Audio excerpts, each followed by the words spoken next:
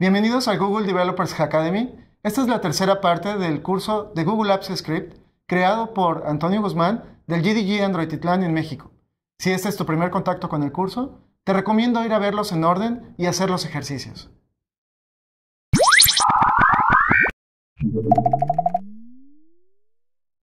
Bienvenido a la tercera lección del curso Introducción a Google Apps Script. Soy Antonio Guzmán.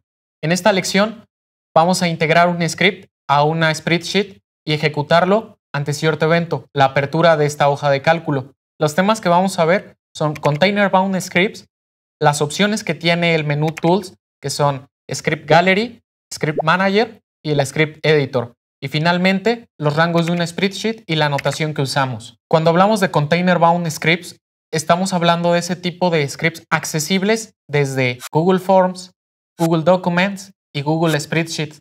Este tipo de scripts me permiten extender la funcionalidad de esas aplicaciones. Un símil son las macros y en esta lección vamos a crear un script desde un spreadsheet. Pues vamos a Drive. Aquí ya tenemos una hoja de cálculo con algunos datos. Lo que decidimos colocar fue el nombre de los meses y un valor numérico que justo es el número de mes que, que le corresponde. Ahora vamos a anotar esta opción Tools. Tools, si se fijan, tiene tres opciones para scripts. La primera es Script Gallery, Script Manager y también tenemos Script Editor. En Script Gallery vamos a encontrar toda una colección de scripts que otras personas ya han desarrollado. No tenemos que reinventar la rueda, ya hay muchas cosas hechas que las podemos tomar y además están clasificados por categoría. Es cosa de buscar lo que nos interesa y lo podríamos usar. La otra opción que les mencionaba es el Script Manager. Desde el Script Manager vamos a poder listar todos los scripts que tenemos asociados a nuestra, a nuestra hoja o crear uno nuevo. En este momento no teníamos nada. Vamos a seguir. Script Editor será la opción que nos va a permitir crear, en este caso, el, el script que va a cumplir la funcionalidad que teníamos planeada. Pues ya sabemos, cada vez que entramos nos va a dar la pantalla de bienvenida. Igual, un blank project. Queremos todo desde cero. La elegimos y a seguirle. Vamos a ponerle un nombre a nuestro script. Mm, gas. Digamos esa nomenclatura. Gas 03. Guardamos y listo. Vamos a escribir nuestra función. Vamos a extraer la información de nuestra spreadsheet. Declaramos nuestra variable y utilizamos la clase SpreadsheetApp.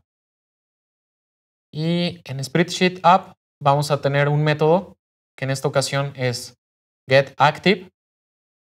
Ahora ya no lo vamos a abrir por ID, vamos a utilizar getActiveSpreadsheet. Eso significa que va a tomar la spreadsheet que en el contexto de nuestro script lo esté ejecutando, es la activa.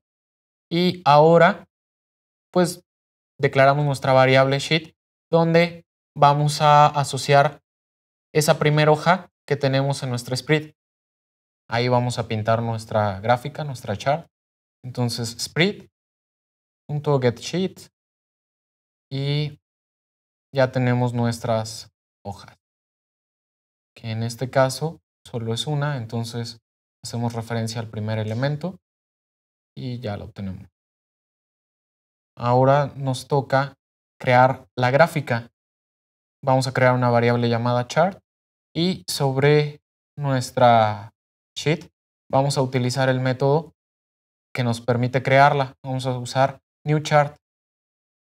New chart tiene diferentes opciones, las vamos a ir viendo. La primera va a ser el tipo de gráfica que queremos. ¿Cuál es el tipo de gráfica? Vamos a elegir la de barras. Entonces, type chart, eh, chart, type, y son, no solo barras es, es el único, ahí está área, eh, también, no sé, está la de Pi, que es un clásico, pero nosotros nos quedamos con barras. Ahora vamos a identificar la información que queremos pintar.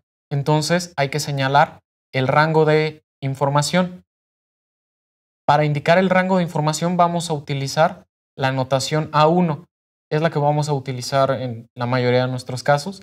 Esta notación A1 es la que ya saben, ¿no? Es una cadena de texto que en este caso es primer columna, esquina superior izquierda de nuestro arreglo de datos y ponemos esquina inferior derecha si lo vemos como un rectángulo. En este caso es A1, que es la primera, y B12, que es la última. Vamos a decirle también dónde la queremos. Aquí, si se fijan, tenemos cuatro opciones donde va a estar ubicada y vamos a ponerle 5 a los valores iniciales y dejamos en 0 los offset en X y en Y. Tenemos ya nuestra gráfica configurada. Y después de esto, lo que nos toca es construir nuestra gráfica. Para eso existe un método, build. Lo usamos, terminamos nuestra sentencia, ya saben, punto y coma. De esta forma ya tenemos una gráfica. Pero ¿qué nos falta? Pintarla e insertarla. ¿Dónde? En nuestra sheet. Entonces, hacemos referencia, sheet chart, y ¿qué le vamos a hacer? Inserta. Inserta una chart. Terminamos nuestra sentencia, punto y coma, y guardamos el script. Ya tenemos nuestra función salvada, todo está listo. Pero ahora, ¿qué es lo que nos corresponde hacer? Estamos hablando de un script contenido en el contexto de una, de una spreadsheet. Entonces, queremos que se ejecute en ese contexto. Vamos a crear una función extra, function on open. Esta función se va a ejecutar de manera automática cada vez que suceda ese evento. ¿Cuál? On open. Es decir, cada vez que alguien abra nuestra spreadsheet, se va a llamar a myFunction. Entonces vamos a hacerlo. On open, hacemos el llamado a myFunction y de este modo ya tendríamos listo nuestro script para que pueda ser utilizado. Vamos lo corremos, nos está indicando que está empezando a correr. Nuevamente nos va a pedir la autorización, ahí está, la solicitud, se la concedemos. Igual nos avisa qué tipo de información va a tener acceso este script, es a las spreadsheets. Listo, nuestro script ha corrido. Vamos a regresar a la hoja de cálculo. Ahí está la gráfica, pero nosotros queremos, vamos a borrarla, porque lo que nosotros queremos hacer es que esa gráfica se pinte cada vez que se abre la hoja de cálculo y no solo cuando se corre manualmente el script. Queremos que corra automático y en el contexto. Cerremos nuestra hoja de cálculo, cerramos. ¿Vieron? Se cerró también el script. ¿Por qué? Porque es un script contenido, es un script que no lo van a ver desde Google Drive. Ahí ya vieron, no está. Abramos nuestra hoja de cálculo otra vez. Ahí está cargando, se está procesando. Se manda la orden de que on open se ejecute myFunction. ¿Qué hace MyFunction? Pintar la gráfica con los datos que tenemos a la izquierda y ahí está nuestra gráfica. Cada uno de los meses con el valor que marcamos. Y regresamos a Tool. Recuerdan que el Script Manager tenía la lista de funciones. Ahí están la lista de funciones y de scripts, MyFunction y OnOpen. Si queremos, desde ahí lo podemos editar. Estamos esperando a que abra. Vamos a ver que nos lleve directo a esa función que nosotros teníamos. Está cargando y listo. Ahí está nuestro script. Ahora tuvimos acceso a él a través del Script Manager. Cerramos el Script Manager. Verificamos que todo esté bien. Se cierra. Cerramos nuestra spreadsheet y en automático se cierra también nuestro script. ¿Por qué? Porque es un script contenido. Y para reafirmar lo visto en esta lección, vamos a hacer un ejercicio. Utilizamos un script de tipo container bound para agregarle un impuesto del 16% a una serie de 10 productos.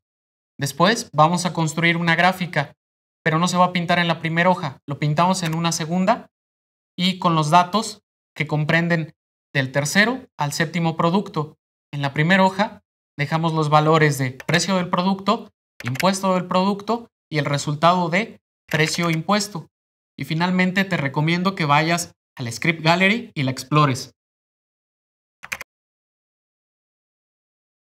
Recordemos que en esta lección vimos la definición de Container Bound Script, vimos las opciones del menú Tools, que son el Script Gallery, el Script Manager y el Script Editor. También vimos los rangos y su notación. La siguiente lección vamos a trabajar con otro tipo de scripts, los container extension, y vamos a integrar más servicios. Vamos a integrar Gmail, vamos a integrar formularios, Drive, Documents y Spreadsheet. Por esta lección sería todo. Sigan programando.